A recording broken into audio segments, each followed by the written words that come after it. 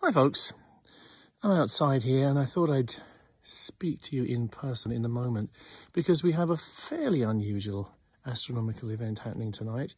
It's an occultation of Mars, so I thought I'd just try and introduce you to this. And if you're still up now, there's a chance you might still be up in about four hours' time. Um, in Britain, it's 4.30 a.m., not very convenient. If you're in the States, it's something a little more friendly.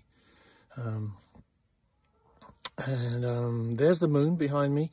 It's not a very good picture, I'm afraid, because iPhones are really, really crap at astrophotography. But about 8.30 position, that's bottom left, you will see, if you go out right now, uh, the planet Mars looking pretty red and sparkly.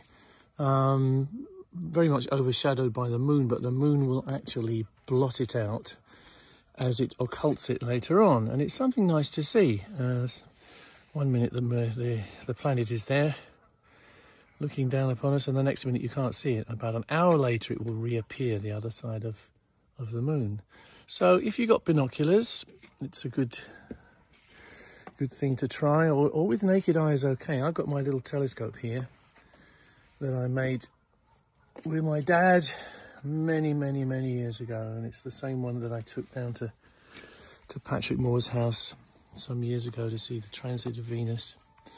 Um, there's a little film about that which you might, you might get to see soon. So good luck with the, the occultation of the planet Mars. I hope you enjoy. Cheers.